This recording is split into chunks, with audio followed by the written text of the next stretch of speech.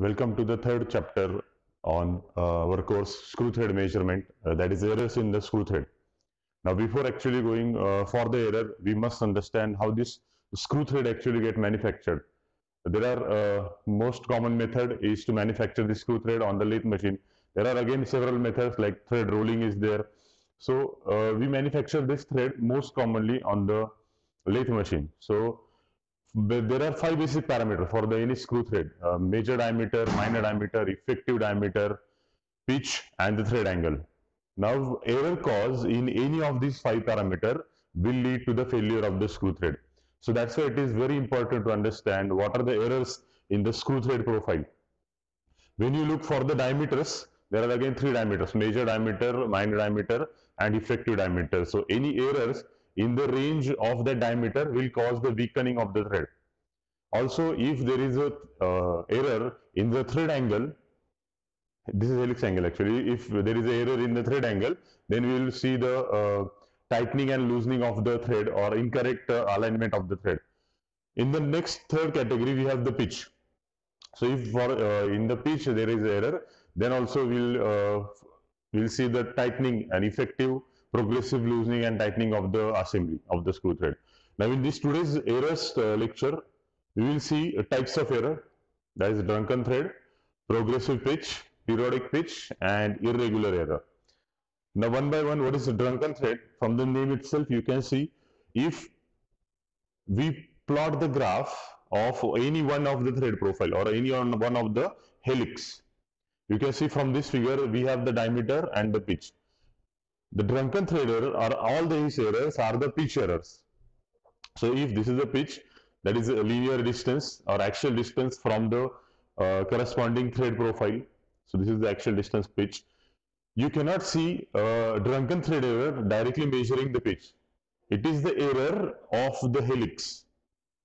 So if you if you develop one of the thread, then this will be the pi d and the height will be the pitch. So in the ideal form, it must have the true head, true, true thread. True thread is a straight line. Okay. That means when we uh, roll it, it will become one of the thread. Okay. So that, that is pitch, height, pitch. So actually it must have the true, true thread. But instead of true thread, the profile will be like this, like a drunken thread. So a true helix is not obtained when you have the drunken thread error. The second type of error is progressive pitch error.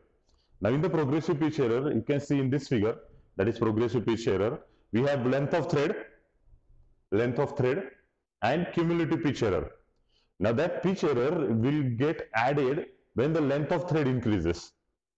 So that's why this is uh, direct in uh, directly proportional. So progress of thread and cumulative pitch error. So progressive pitch error will occur along the axis so that is a progressive or the length of thread. Next we have periodic pitch error. Now for the periodic pitch error again the similar type we will take uh, on the y-axis cumulative pitch error on the x-axis we have length of thread but instead of going straight instead of behaving like this it will behave in periodic pitch error. So again it will have the uh, ups and down on the graph profile. So this is all about the errors and last is irregular error. You cannot predict its formation on the screw thread. There is irregularity in the nature. Also in the uh, assembly, uh, you can find during the usage or during the uh, coupling of the nut and bolt assembly, you can find all these errors. Sometimes for the measurement of the error, we require separate instruments.